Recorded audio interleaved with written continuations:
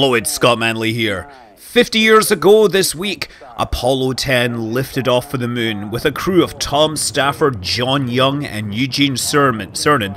This was going to be the final all up test before landing on the moon. There were some things that they still had to test and could only be tested in lunar orbit. In particular, the lunar module had a landing radar which needed to be verified. They also needed to test the abort guidance system on board the uh, lunar module to make sure that if the Apollo guidance computer failed that the LM could still get back to lunar orbit. For this mission, the lunar module would be called Snoopy, and the command module would be called Charlie Brown. The astronauts picked these names, and after this mission, the powers that be at NASA decided that astronauts were supposed to pick names with a little more gravitas, which is why we got Eagle, Intrepid, Aquarius, Antares, etc., etc. Names that would look good in the history books, names that would stand the test of time. But on that front, the crew of Apollo 10 may have had the last laugh because Snoopy is the only lunar module that has flown in space which is still intact. So, most of the lunar modules were abandoned in low lunar orbit, and because the lunar gravity field is a bit rough, all of those have ended up crashing into the moon at some point. Uh, some of them came back to Earth, notably Apollo 9 and Apollo 13 ended up burning up in the Earth's atmosphere.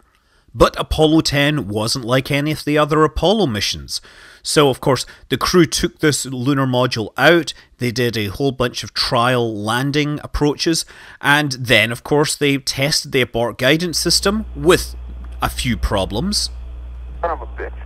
This is where they were separating the descent stage and lost control of the vehicle. Okay, let's let's make this burn on the AGS, babe. But they quickly figured out the problem. Make this make this burn on the AGS. The AGS is the abort guidance system. It's the backup to the main Apollo guidance computer, which, uh, you know, was only supposed to get them back into orbit if there was a problem during the descent. Hello, yes, uh, Snoopy and Charlie Brown are hugging each other. Roger that. We heard him down here. But after the descent test, there was one final experiment they wanted to perform with Snoopy. They wanted to burn the ascent engine until the fuel was entirely depleted. Okay, Joe, burn depletion is 108 50 31 00 plus 45576 plus all balls minus 06231. The burn to depletion was, of course, programmed into the Apollo guidance computer on Snoopy. Actually, detaching Snoopy was performed using the explosive separator. So they would actually drop a part of the spacecraft by triggering an explosive charge that would split the docking plate adapter along this plane. Five count.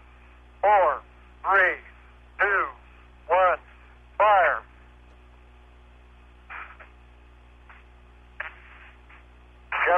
Holding. Snoop went someplace. Snoopy was detached with the program running, holding the attitude until the correct time when the signal would be sent to fire the engine, and that would take it off into interplanetary space. We know the orientation, we know the amount of uh, delta V that was acquired during this maneuver, and so using that, you can actually predict where it would have gone. And that's exactly what Mike Loucks did a while back. These diagrams are from an article he wrote on his website. Now, he had three different possible configurations based upon the information they had, so he followed these forward. More or less, what happens is the spacecraft escapes into interplanetary space with a relatively low delta V. Most estimates put its period at about 342 days, which means it comes back to Earth every 15 years or so, and like a looping pattern like this. Now, people have actually been looking for this spacecraft because we don't know exactly where it is, and finding it again would be very good because you could constrain the orbit. This is the orbit simulated in Kerbal Space Program with realism overhaul, because of course, I've been asked, what would it take to bring the Snoopy spacecraft back home? And so that's what I pretty much spent my weekend doing. I designed a spacecraft, it masses about 5 tons, and it launches on board an Atlas rocket. Now, I only put 4 boosters on this, I wish in retrospect I'd put 5, but you know, whatever. This is of course accurate in terms of its mass and its performance, so I wanted to do everything as accurately as possible. Despite the fact that it took the massive Saturn V to put it around the moon, we can actually possibly have a chance to recover it using a far more modest launch vehicle. That's why I went with the Atlas V. A Falcon Heavy would probably work as well. It turns out that Snoopy has a characteristic energy, a C3, of like less than 4, which means that it's actually very easy for anything to get to once you can reach escape velocity. The big problem is, is because it only comes near Earth every 15 years, the lowest velocity way of encountering it is to you know set up set up your intercept on one encounter and then you rendezvous with it partway through and then then you modify your trajectory so you eventually come back to Earth. This upper stage mass is about 5 tons, which means that it's well within the capabilities of Atlas, Falcon 9 or the Delta 4. In fact, the, it's very similar to the upper stage of a Delta 2. It's got an, uh, an AJ-10 engine which uses hypergolic fuel with uh, several tons of fuel. Now the difference here is that it needs some way to grab the space probe. And I decided to use the docking adapter, but of course I did this at a time when I had forgotten, or I somehow had forgotten that they had sort of permanently severed the docking port, and therefore it might not be the best way to grab the spacecraft. In real life, you would also have the issue that the spacecraft has been floating in deep space without any attitude control, and it's entirely likely that there is some asymmetric reflectivity or emissivity which will cause the spacecraft to spin up over time. There's a combination of light-based effects that's called the YORP effect. That's Yarkovsky, O'Keefe, Radzievskii, and Paddack. And it's just down to your differential absor uh, absorption and re-emission. And that can basically start your body spinning faster and faster. And the lunar module is a very small object which has quite a lot of different um, you know, materials on it. And it's relatively light. So by the time we get to it, it's entirely likely that it's spinning on its own. So grabbing a lunar module in space is going to be harder than simply docking with it. You're going to have to arrest the rotation and then grab something which is relatively fragile because of course the lunar module was made to be very light. It was made to be just strong enough, but you know, astronauts commented that if they hit the side of the lunar module hard enough, they could have knocked a hole in it.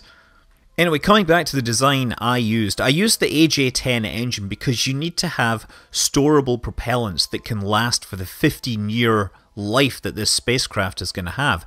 You could use uh, hydrogen and liquid oxygen, but that of course boils away. So instead, storable propellants is what you use. We also do a lot of the maneuvers using these small reaction control thrusters because of course the big thruster has a limited number of ignitions and you want to save that for the moments when you really need a big oomph. As I said, this is very similar to a Delta II upper stage, but the big difference is is that it has to have the electronics and the communication, the avionics to communicate.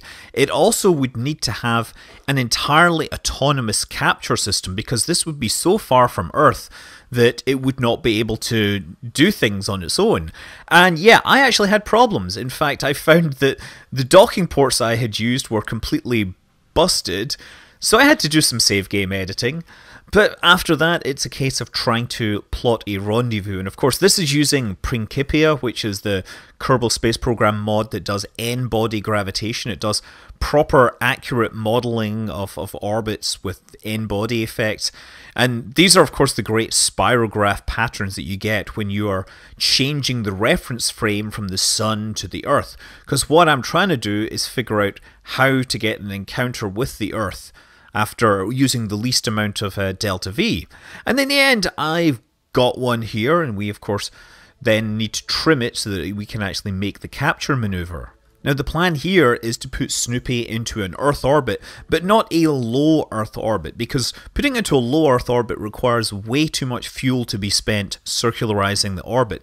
We just want to send a spacecraft that can take the 5 ton lunar module and slow it down when it flies past the Earth.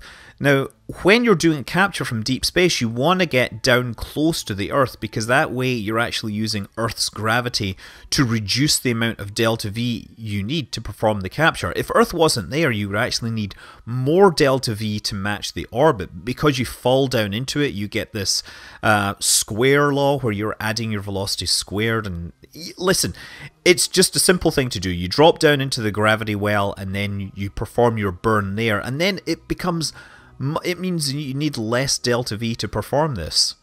And it's this big capture burn which is why you need that big AJ10 engine. The smaller engines would have been fine for most maneuvers, it would have taken a long time, but because you want to maximize the effect of the Earth's gravity, you need to make that capture burn as short as possible. So you take the penalty of having that big engine and that big nozzle in return for the fact that it lets you slow down a lot faster and take advantage of the Earth's uh, gravity field. And so, yeah, you don't need a massive spacecraft if you want to recover Snoopy. You just need to have patience. You obviously need a rocket that can throw something into interplanetary space. And your spacecraft needs to be clever enough to be able to grab onto this ancient piece of hardware. But once captured, you could do some space age archaeology on the only lunar module that flew. So I hear you ask, what would you find in this? Well, one thing we know we'd find is the trash, because the trash was offloaded from the command module into the lunar module. And that might include one particularly famous piece of space trash. The Apollo 10 floating turd. We don't know who did it, but you know, if that was recovered, it might now be possible to figure out who was really responsible for this.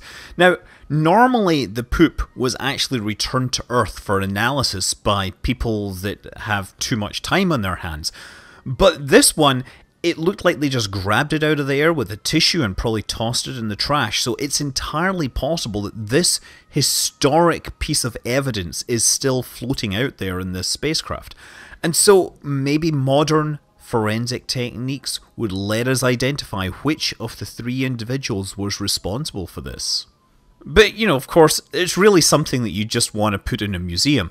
And that's the next thing. So we're putting this into an eccentric orbit. To put it into a low circular orbit, you would need another spacecraft with more fuel.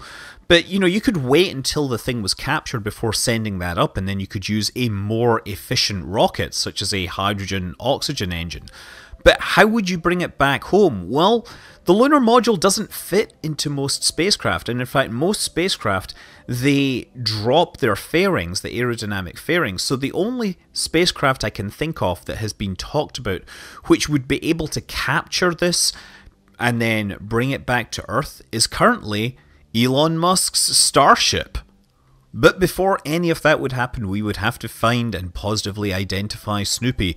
We have found various pieces of hardware floating around in space which are lost, but Snoopy so far, uh, there are possible candidates, but it will take years to figure out if it's the real thing. I'm Scott Manley. Fly safe.